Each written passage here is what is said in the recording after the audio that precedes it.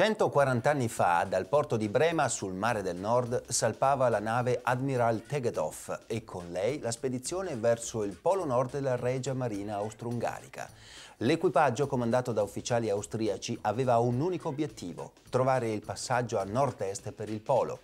Poco dopo la partenza, la nave si incaglia nel pack artico Inizia così la lunga avventura raccontata nella mostra Dalle Alpi all'Artico, un'avventura a lieto fine che ha portato alla scoperta di un arcipelago di 191 isole che gli esploratori battezzarono Franz Josef Land. Dopo mille peripezie e due bui e gelidi inverni polari, la spedizione fece ritorno a Vienna dove fu accolta trionfalmente da una folla di 250.000 persone. Promossa dal Consiglio della Provincia Autonoma di Trento, dal Trento Film Festival, dalla SAT e dal Museo Tridentino di Scienze Naturali, la mostra è un percorso affascinante, sorprendente e trasversale tra storia, scienza e natura. Benvenuti a Formart, ma chi fu il principale artefice di questa straordinaria spedizione? Ce lo racconta Riccardo De Carli, uno dei curatori della mostra. Il protagonista di questa spedizione fu eh, Julius von Payer, che era un eh, ufficiale dell'esercito austro-ungarico di stanza in Veneto. Prima della spedizione, a partire dal 1864, Payer eh, fece diverse campagne alpinistiche in Adamello Prisanella e Ortles Cevedale. Tra l'altro fu il primo salitore dell'Adamello e il secondo della Prisanella.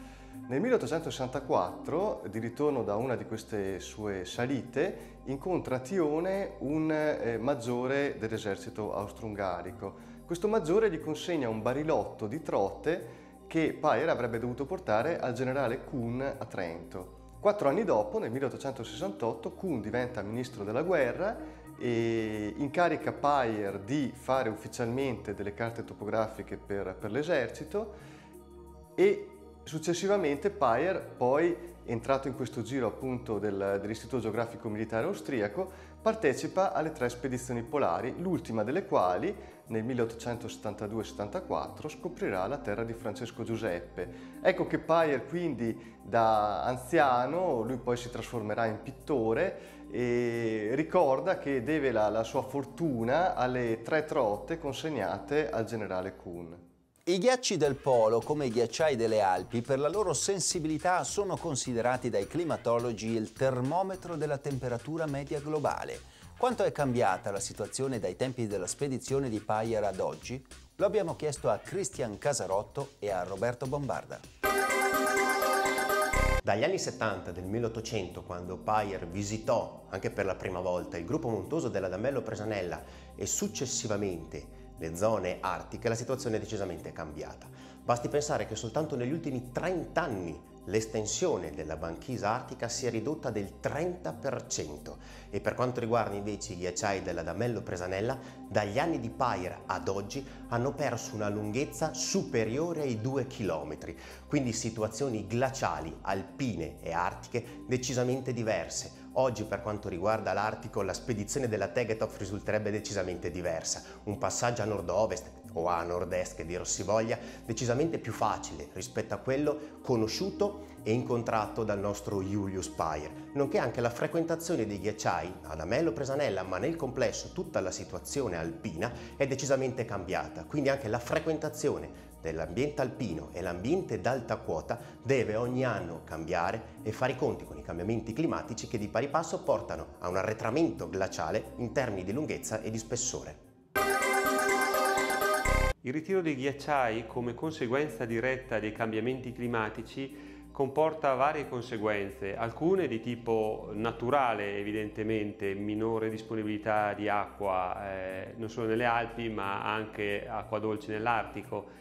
Apre anche altri scenari come ad esempio l'apertura di rotte commerciali attraverso il Polo Nord, eh, inimmaginabili all'epoca della spedizione Payer ma oggi praticabili apre anche scenari di turismo ma anche di utilizzo minerario di regioni eh, artiche che sono, eh, lo sappiamo, ricchissime eh, di giacimenti di idrocarburi.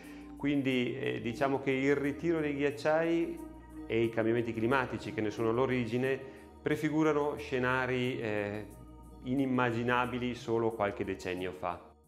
Siamo giunti al termine di questa puntata tra storia, avventura, scienza e natura. Io vi saluto e vi lascio con Claudio Ambrosi che ci consiglia un romanzo davvero speciale. Arrivederci.